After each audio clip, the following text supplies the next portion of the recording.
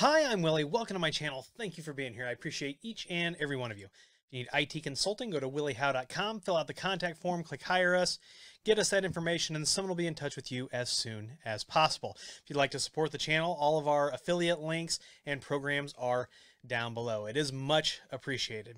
What we're going to talk about today is the new user interface with UniFi. I know we're on this theme, right?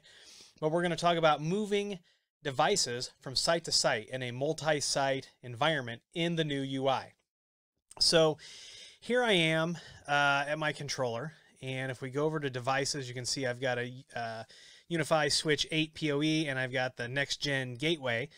And this is the new UI. And when I click on a device and I go to settings and I go to manage, there is nothing here that gives us the option to move the device. And I've seen this asked a lot. So I asked Ubiquity, Ubiquiti directly.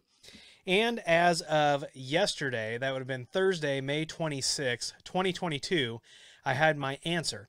The only way to get that option back right now is to flip back to the old user interface. So that is one thing that is still there.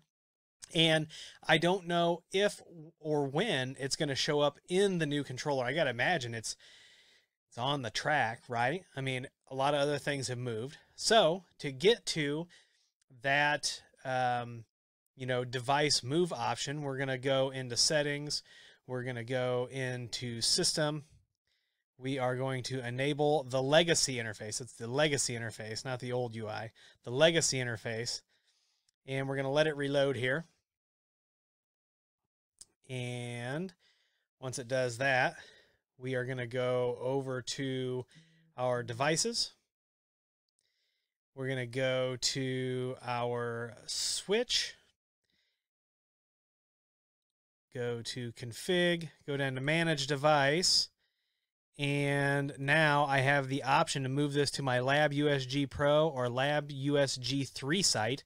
So I can do that or I can forget it. And that is the only way to do it currently.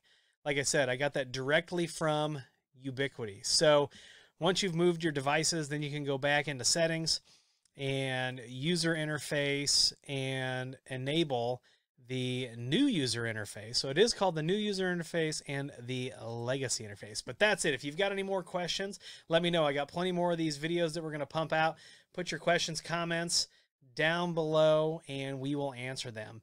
And once again, if you need that IT consulting, williehowe.com. If you like this video, please give it a thumbs up. Please subscribe. Please comment and share. Please follow me on Twitter and TikTok. Those links are down below, along with all the other links we talked about earlier. Once again, I'm Willie. I want to thank you for being here. And as always, I'll see you in the next video.